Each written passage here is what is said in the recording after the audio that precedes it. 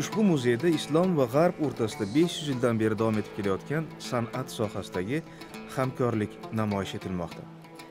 Ikki tamaddun orasidagi muloqot har doim bir birini to'ldirib kelgan.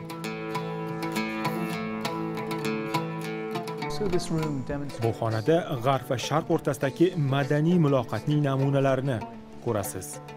Um, mana bu ikki tabang bir biriga juda o'xshash va bir yerda bir vaqtda ishlangan deb o'ylashingiz mumkin. Lekin mana bunisi 19 asrda fransiyalik kulol tomonidan yasalgan. Mana bunisi esa 16 asrda turkiyada ishlangan.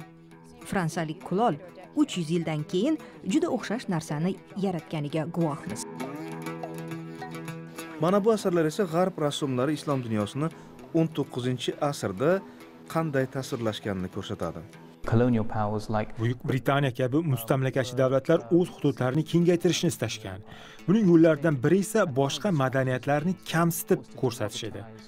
Bir qarashda ushbu asarlar islom dunyosini romantik bir shaklda tasvirlagandek tuyuladi lekin unda butun islom tamaddunini romantik tasvirlashlari kerak edi. Chunki islom dunyosi san'at ilm fan falsafa va yana ko'plab boshqa sohalarga ulkan hissa qo'shgan mana bu yerda falastinlik ayol rassomining an'anaviy haramni tasvirlagan asarini keltirishimiz mumkin.